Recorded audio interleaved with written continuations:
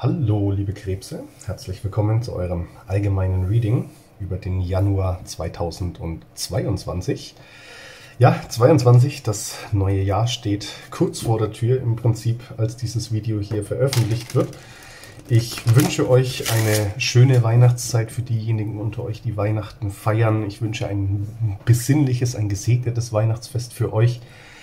Sofern dies möglich ist, natürlich auch im Kreise eurer Liebsten und auch natürlich angesichts des voranschreitenden neuen Jahres äh, wünsche ich euch einen guten Rutsch, wie man immer so gerne sagt, und ein wunderbares, ein schönes, ein gesundes neues 2022 natürlich.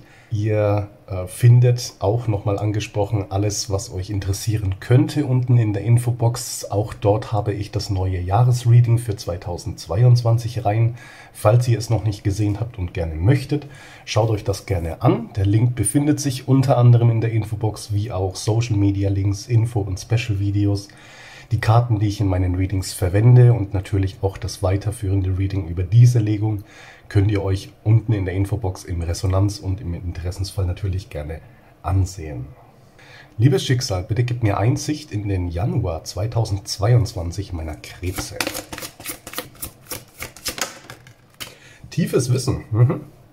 Tiefes Wissen ist eine Hauptenergie, die, ja, tiefes Wissen auch schon vorprognostiziert. Man sieht es hier auch schon an diesem Doppelmond, hier und hier.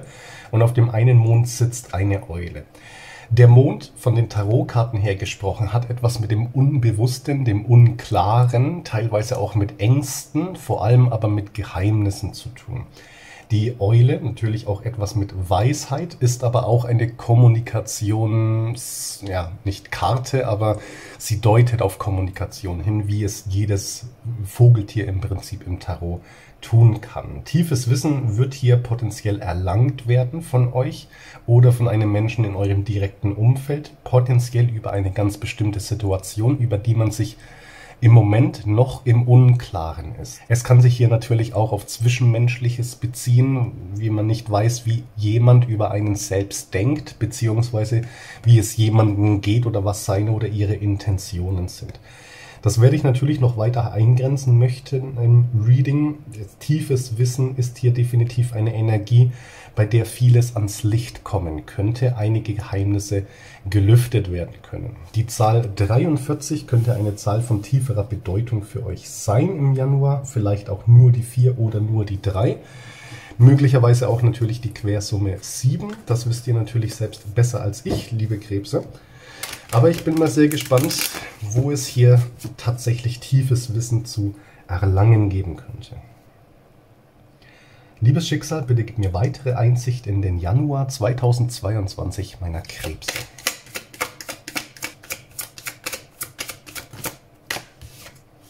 Die vier der Kelche.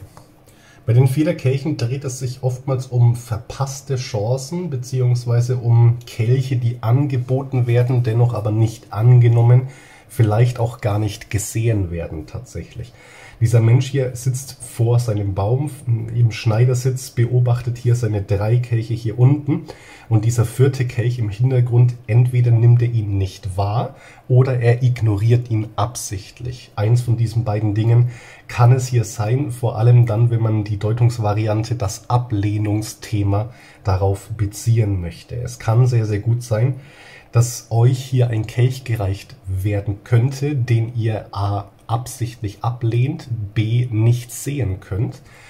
Oder es kann genau andersrum sein, dass ihr jemandem sozusagen diesen Kelch anbietet oder schon bereits angeboten habt, der oder diejenige diesen Kelch aber entweder gar nicht gesehen hat oder nicht wahrgenommen hat. Es, ich meine, es ist hier das klassische Ablehnungsthema.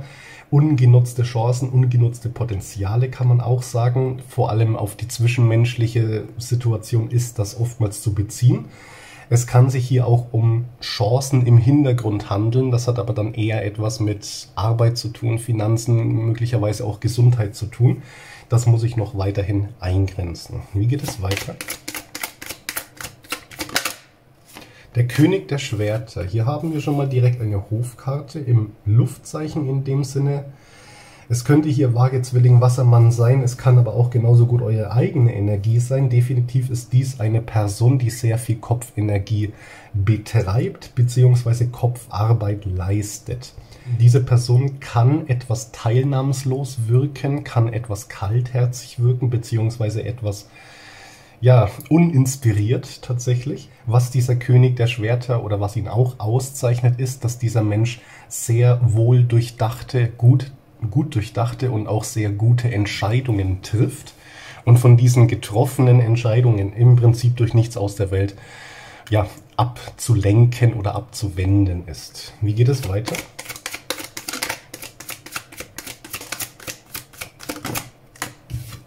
Der Teufel. Der Teufel hat sehr viele Deutungsvarianten. Es kann sich hier um Ängste drehen, es kann sich um Süchte, um Anbindungen handeln, es kann sich hier auch um Lügen handeln, um Betrug handeln tatsächlich.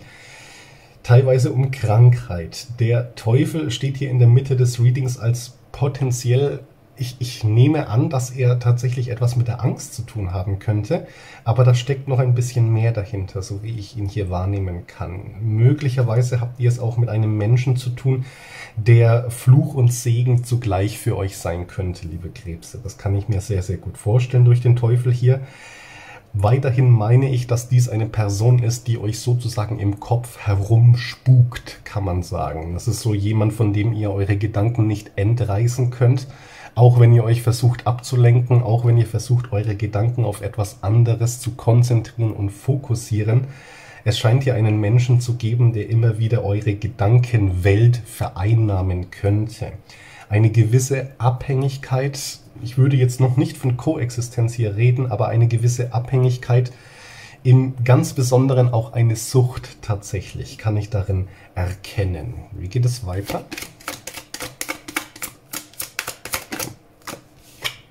Die Königin der Kelche. Liebe Krebse, das ist eure Karte, das ist eure Energie. Ich sehe euch auch tatsächlich immer in der Königin der Kelche und das ist zweifelsohne eure Energie hier. Somit ist dieser König der Schwerter hier aber nicht eure Energie. Ihr spiegelt hier auf eine ganz gewisse Person. Ihr habt hier als Königin der Kelche einen Kelch in der Hand, den ihr jemanden offerieren könntet der aber auch tatsächlich in gewisser Weise, und das ist sinnbildlich gesprochen, euer Herz darstellt, liebe Krebse. Als die Königin der Kelche ist man sich seiner oder ihrer Gefühle komplett bewusst. Man versucht sich diesen nicht zu entziehen, man verweigert sie nicht, man verneint sie nicht, versucht sie auch nicht totzuschweigen.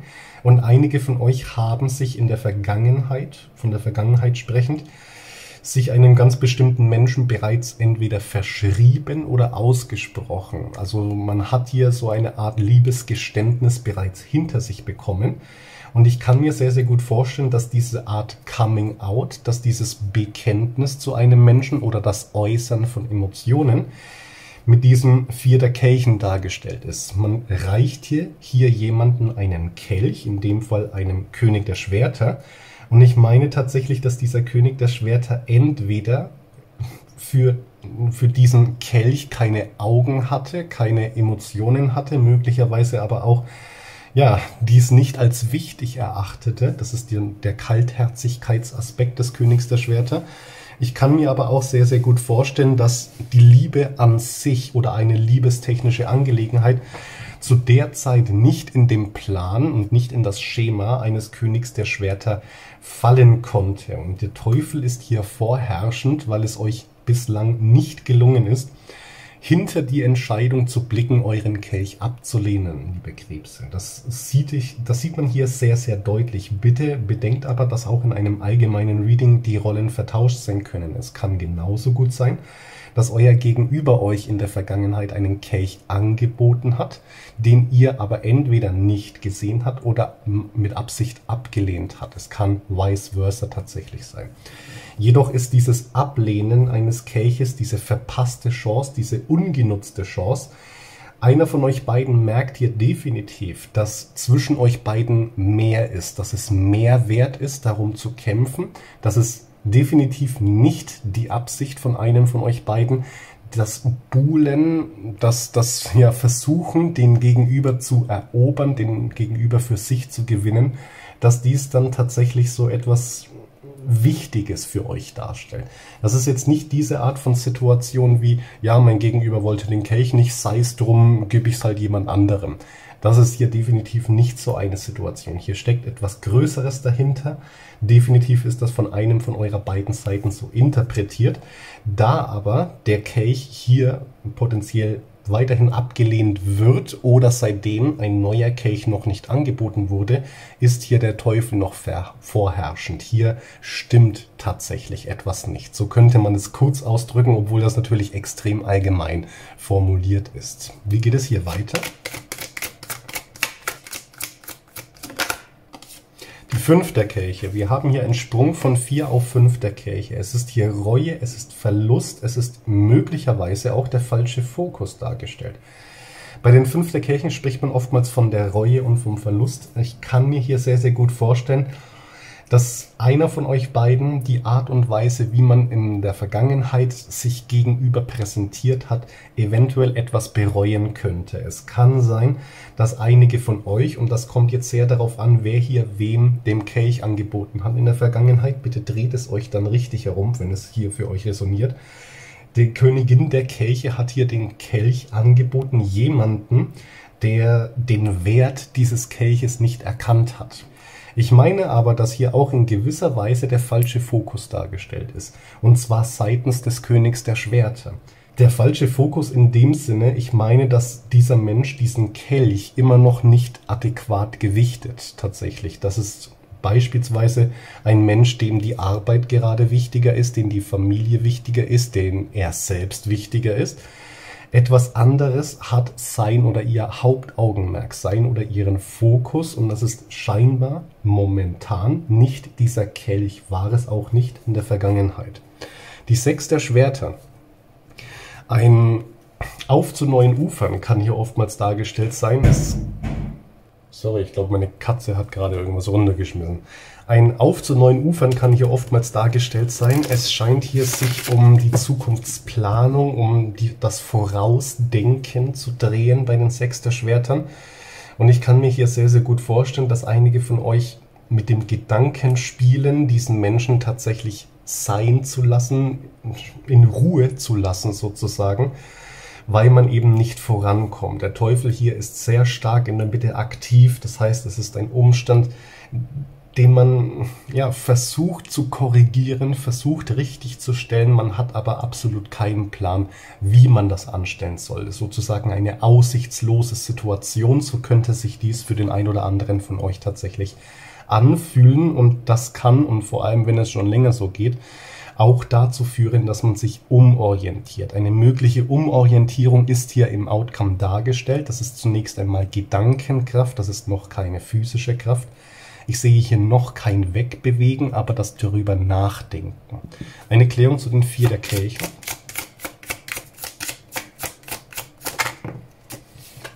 Das ist die Sonne. Die Sonne hat etwas mit der Freiheit zu tun, auch oftmals etwas mit der Befreiung zu tun. Ich kann mir hier einen freudigen Umstand vorstellen, eine Art Freiheit, eine Art Befreiung, die man hier tatsächlich erzielen möchte. Ich meine auch, dass durch die Sonne auf die vier der Kelche dieser Kelch, der hier gereicht wurde, und potenziell meine ich, dass der von euch kam auch tatsächlich, tatsächlich extrem aufrichtig war. Ich kann mir hier wirklich ein aufrichtiges Angebot vorstellen, ein ehrliches Angebot. Das hat hier nichts etwas mit einem ja, mit einem One-Night-Stand oder etwas derartiges zu tun, auch keine Affäre oder etwas derartiges. Das hatte hier schon Hand und Fuß, dieses Angebot. Das war definitiv vom Herzen kommend. Und man kann hier tatsächlich sagen, man hat jemandem sein Herz angeboten, weil das ist hier wirklich, also so einen Kelch, den hat man normalerweise anzunehmen, um es mal so auszudrücken. Da der aber abgelehnt wurde, kann ich mir sehr, sehr gut vorstellen, dass es einem von euch beiden eine Zeit lang aufgrund dieses Ablehnungsthemas tatsächlich nicht sehr gut ging. Ich meine, das ist nachvollziehbar natürlich, wenn einem der Kelch abgelehnt wird sozusagen. Aber ich glaube auch, dass dieser Mensch hier in der Konjunktion zum Ritter der Schwerter doch nicht sonderlich glücklich war über seine oder ihre Entscheidung. Ich meine, es gab hier einen Konflikt, eventuell ist es auch jener Konflikt, über das ihr versucht, dieses tiefe Wissen tatsächlich zu erreichen und zu erringen, das diesen Menschen dazu getrieben hat, euren Kelch abzulehnen zu gegebener Zeit. Eine Klärung zum König der Schwerter. Die Königin der Schwerter. Also wir haben hier ein Power Couple direkt aufeinander. Die Königin der Schwerter und der König der Schwerter. Beides Kopfmenschen tatsächlich, beide sehr in ihrem Kopf unterwegs und ich kann mir sehr, sehr gut vorstellen, liebe Krebse, dass mindestens einer von euch beiden, potenziell aber ihr beide, die Sache zu gegebener Zeit zwischen euch beiden stark durchdacht habt. Viel Vorausplanung fand hier statt auf beider Seiten, viel Analyse sozusagen, so also diese Frage, könnte das zwischen uns beiden klappen? Kommen wir damit zurecht? Kommen wir miteinander klar, auch wirklich auf längere Zeit gesehen? Ist es kompatibel? Es ist sehr, sehr viel Gedankenkraft hier auf jeden Fall am Werk gewesen. Ich habe aber, da es hier eben ein Power Couple auch ist, zwei Menschen, die wirklich gut miteinander zurechtkommen, die, bei denen wirklich, um es so zu sagen, die Chemie stimmt einfach. Und das sieht man auch hier in der Sonne ganz, ganz klar. Aber dieser Mensch war und ist eventuell auch noch so stark in seinem Kopf, zerdenkt diese Sache, analysiert diese Sache. Und je mehr man darüber nachdenkt, desto mehr Ängste machen sich breit, desto mehr unsicher ist sich dieser Mensch bezüglich der gemeinsamen Zukunft, wie man sie auch hier tatsächlich ebenso erkennen kann. Eine Klärung zum Teufel.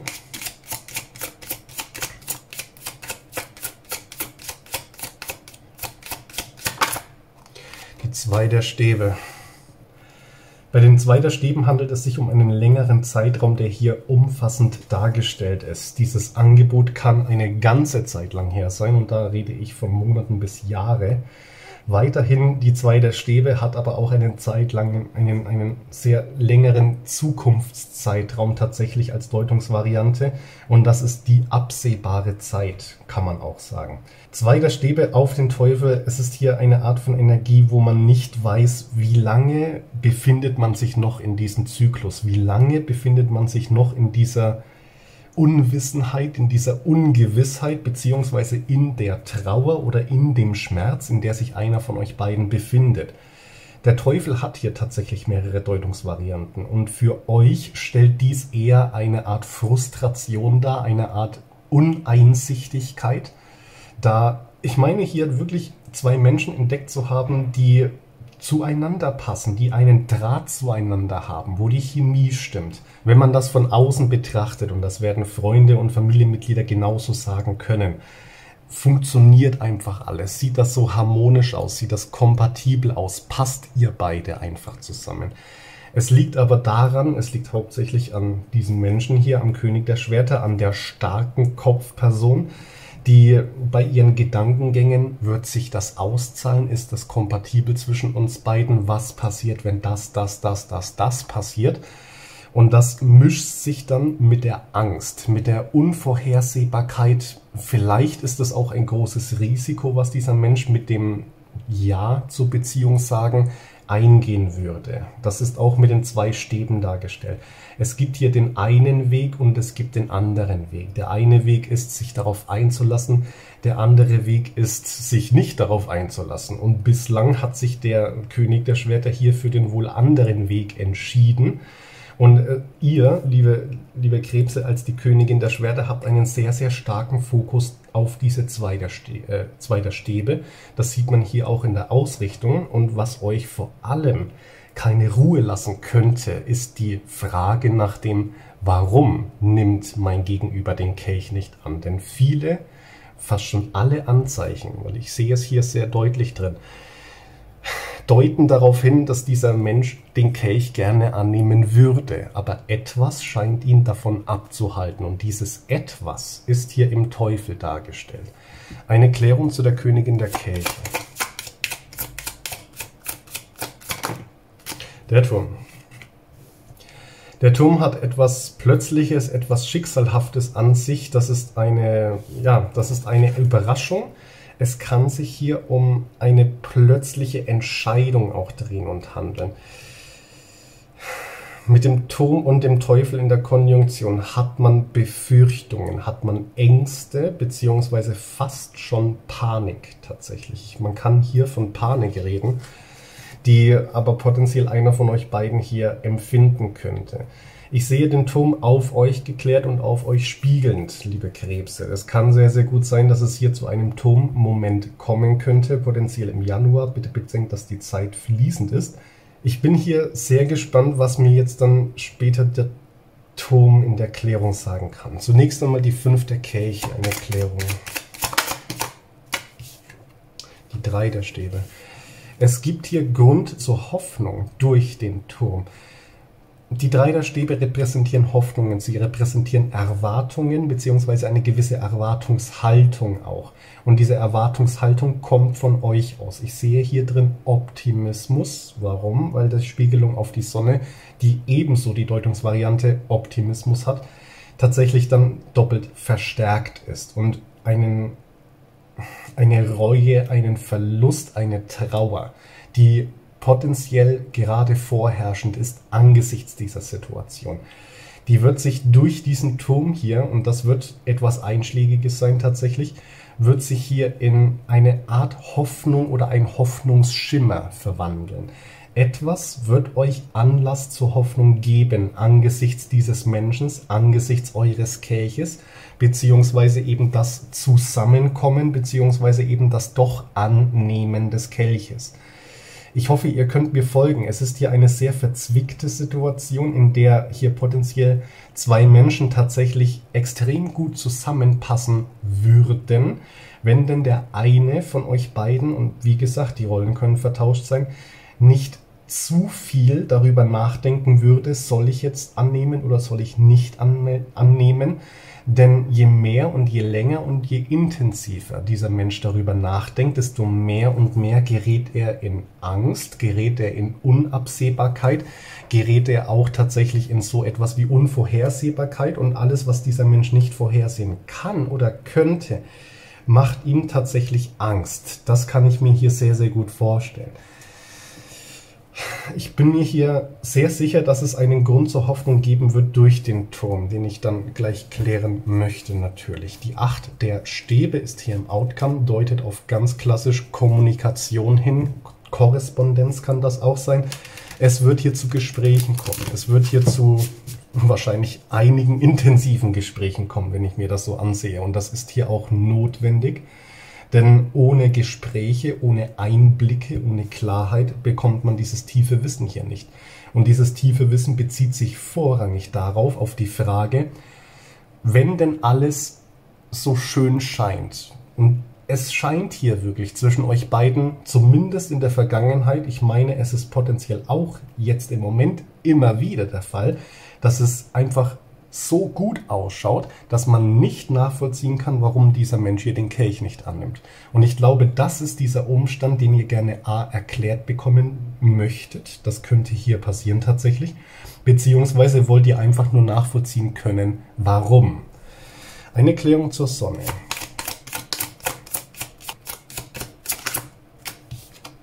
Das ist das Gericht. Beim Gericht redet man von Auferstehung, Auferweckung. Man sagt auch Ruf des Schicksals folgen. Man sagt Judgment Day dazu. Und ich kann mir hier wirklich ein angestrebtes Ereignis vorstellen. Es ist hier etwas, was im Terminkalender tatsächlich schon markiert werden könnte. Etwas, was angestrebt ist. So eine Art Deadline kann ich mir hier vorstellen. Und diese Deadline hier scheint mir schon überschritten worden zu sein dass man sich beispielsweise gesagt hat, und das ist nur ein Beispiel, ich warte jetzt noch bis Ende des Jahres. Ne? Und wenn mein Gegenüber dann nicht auf mich zukommt, wenn mein Gegenüber dann auch noch nicht in der Lage ist, diesen Kelch anzunehmen oder mir wenigstens adäquat erklären zu können, warum er oder sie nicht möchte. Dann suche ich mir etwas anderes, dann lasse ich ab von ihm oder ihr, dann widme ich mich wieder mehr mir, mehr meinem Hobby, mehr meiner Familie, mehr etwas anderem. So eine Art Deadline kann hier von eurer Seite aus gesetzt worden sein. Das sieht man hier in der Spiegelung sehr deutlich mit dem Ablehnungsthema beziehungsweise dem vierten Kelch eben diesen ungenutzten Chancen und dem ungenutzten Potenzial, welches man bislang optimistisch entgegengestimmt hat. Man hat jemanden seine Freiheit gelassen. Man hat jetzt niemand, niemanden dazu gedrängt, sich entscheiden zu müssen. Das habt ihr hier nicht getan. Aber ihr habt euch diese Frist sozusagen selbst gesetzt, liebe Krebse. Viele von euch haben das getan aber nicht an den Gegenüber hin. Man hat jetzt hier nicht gesagt, du hast bis Ende des Jahres Zeit, mir entweder Ja oder Nein zu sagen. Man hat sich selbst gesagt, ich warte noch bis da und dahin und dann schaue ich weiter. Man hat es hier absichtlich eine Zeit lang ruhen lassen, eine Zeit dem Gegenüber gewährleistet, um sich klar zu werden über das, was er oder sie möchte und nicht möchte und daraufhin entweder, und hier sind wir wieder bei diesen zwei Wegen, Ja zu sagen oder Nein zu sagen, aber dies deutlich. Und ich meine tatsächlich, dass viele von euch momentan eher zum Nein tendieren, eher meinen, dieser Mensch sagt Nein, dann und in dem Fall würdet ihr gerne erklärt bekommen, warum absolut nachvollziehbar. Ich wäre tatsächlich genauso. Dass es hier aber einen Turmmoment gibt, der wird euch wieder zur Hoffnung veranlassen. Und dieser Turmmoment, ich bin hier sehr gespannt. Aber zunächst hier, Königin der Schwerter.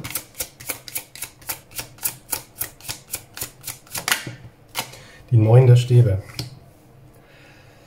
Es ist so oft bezeichnend tatsächlich für genau so ein Thema hier, dass jemand den Kelch nicht annehmen möchte, potenziell aus Zweifel, potenziell aus Angst oder Unvorhersehbarkeit, Unsicherheit, weil hier etwas in der Vergangenheit passiert sein könnte. Neun der Stäbe, ganz klassische Vergangenheitskarte, ist, man sagt auch teilweise Traumakarte dazu.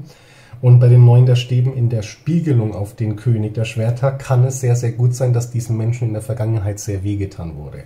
Man sagt der verwundete Krieger, man sagt hier Wunden aus der Vergangenheit beziehungsweise etwas Unverarbeitetes. Und das kann zwischen euch beiden etwas gewesen sein, ein Vorfall gewesen sein, den ich jetzt hier nicht weiter klassifizieren kann, leider. Aber ich meine eher, dass es im privaten, im persönlichen Umfeld eures Gegenübers etwas gab, was ihn oder sie seither dazu veranlasst, einem solchen Kelch, wie hier dargeboten ist, sehr, sehr zweifelhaft entgegenzuschauen. Das ist so einem, einem wurde hier das Herz gebrochen, einem wurde hier jegliche Hoffnung geraubt sozusagen.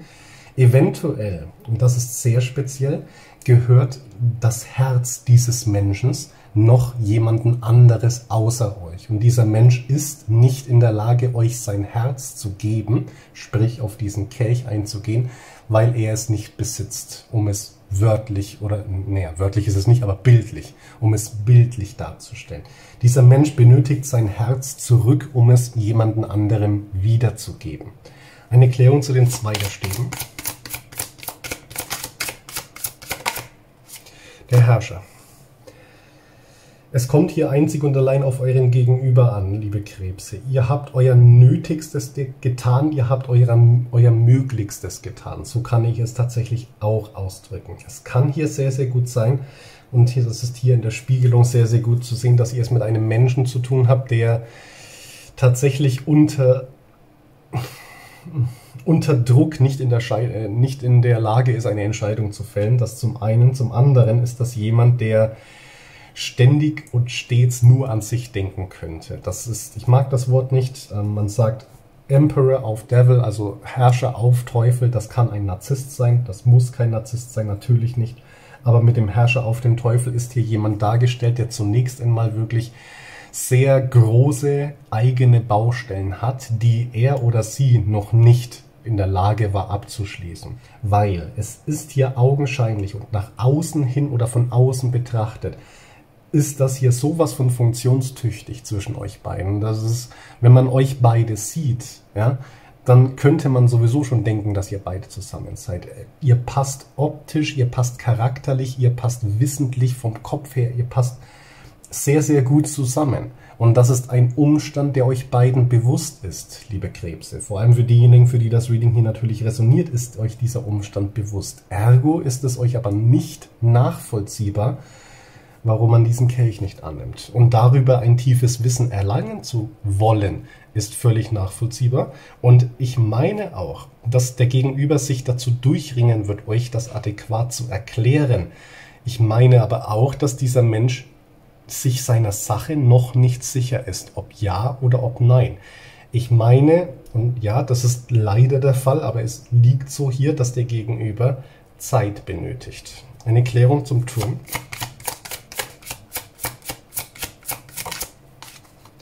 Die Liebenden. Wow. Es ist hier ein einschlägiges Erlebnis. Es ist ein einschlägiges Ereignis, welches hier durch den Turm dargestellt ist, liebe Krebse. Dieses einschlägige Ereignis hat etwas direkt zwischen euch und diesen Menschen zu tun. Hier seid ihr in der Spiegelung, euer Gegenüber ist im Trigger und in der Konstellation. Es hat was mit euch beiden zu tun. Und ich kann mir hier sehr, sehr gut eine Art,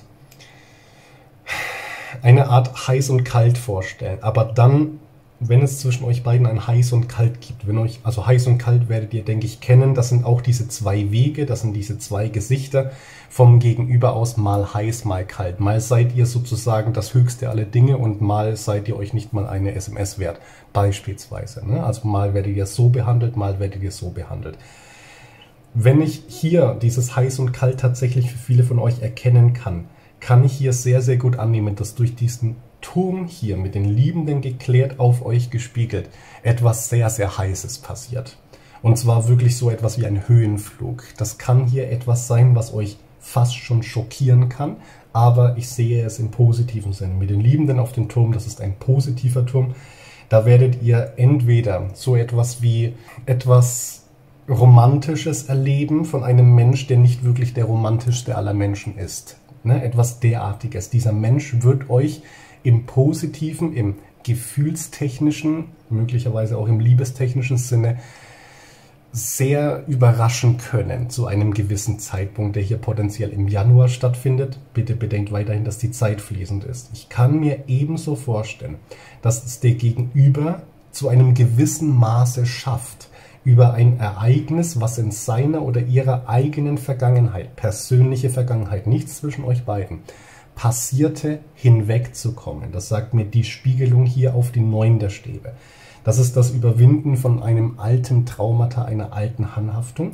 Und es kann hier sehr, sehr gut sein, dass er oder sie sich euch gegenüber sehr viel mehr nähern kann, sehr viel offener sich geben kann, vielleicht auch tatsächlich etwas offener zu reden, als er oder sie es bisher getan hat. Das wird ein positiver Turm hier. Eine Klärung zu den drei der Stäben. Das ist der Page der Münzen. Beim Pagen der Münzen handelt es sich oftmals um jemanden, der etwas wieder gut zu machen hat. Man sagt auch der Lernfleißige, der Lerneifrige tatsächlich. Es ist hier jemand dargestellt, der erwachsen werden müsste, erwachsen wird tatsächlich, jemand, der aus vergangenen Fehlern lernt, beziehungsweise eine Entwicklung durchmacht. Und ich kann mir diese Entwicklung tatsächlich auf der Seite eures Gegenübers vorstellen, liebe Krebse.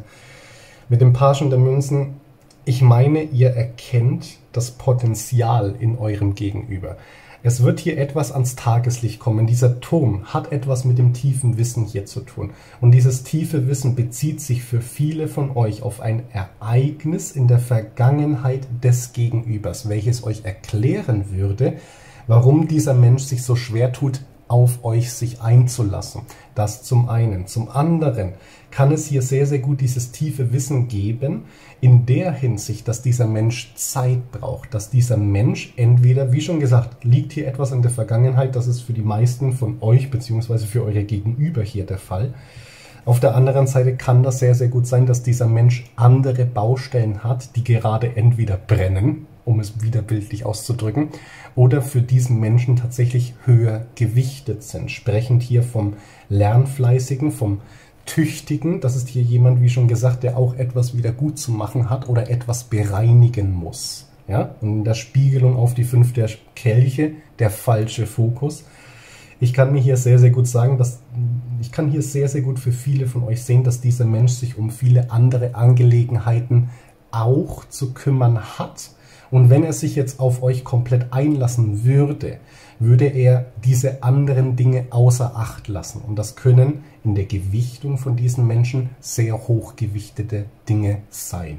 Was man hier benötigt, ist Zeit. Was man hier auch benötigt, ist Einsicht, tiefes Wissen, welches hier potenziell mit diesem Turm euch sozusagen gewährleistet wird. Die Kraft hier ist die dritte Outcome-Karte. Es bedeutet hier Zähne zusammenbeißen. Es bedeutet mutig zu sein. Es bedeutet tapfer zu sein. Beziehungsweise kann es auch sehr, sehr gut sein, dass eurem Gegenüber hier, wie sagt man denn da, dass er oder sie so viel um die Ohren hat, gerade dass er schlichtweg nicht den Kopf für eine liebestechnische Beziehung, liebestechnische Angelegenheit mit euch haben könnte. Eventuell fehlt ihm auch der Mut zu diesem Schritt. Das kann ich mir hier in dieser Kraft ebenso vorstellen. Ich werde mir diese drei Karten natürlich jetzt im weiterführenden Reading noch etwas genauer anschauen. Wenn ihr hiermit resoniert, liebe Krebse, wenn ich eure Situation hier aufgegriffen habe und ihr gespannt seid, wie es weitergeht, nehmt gerne das weiterführende Reading in Anspruch. Unten in der Infobox der erste Link ist das gleich. Ist natürlich kein Muss. Ich wünsche euch nochmals eine schöne Weihnachtszeit für diejenigen, die Weihnachten feiern. Ich wünsche euch einen guten Rutsch, wie man sagt, ins neue Jahr 2022. Habt ein gesundes, schönes neues Jahr, habt ein erfolgreiches neues Jahr. Ich würde mich sehr freuen, wenn wir uns wiedersehen und bis dahin macht es gut.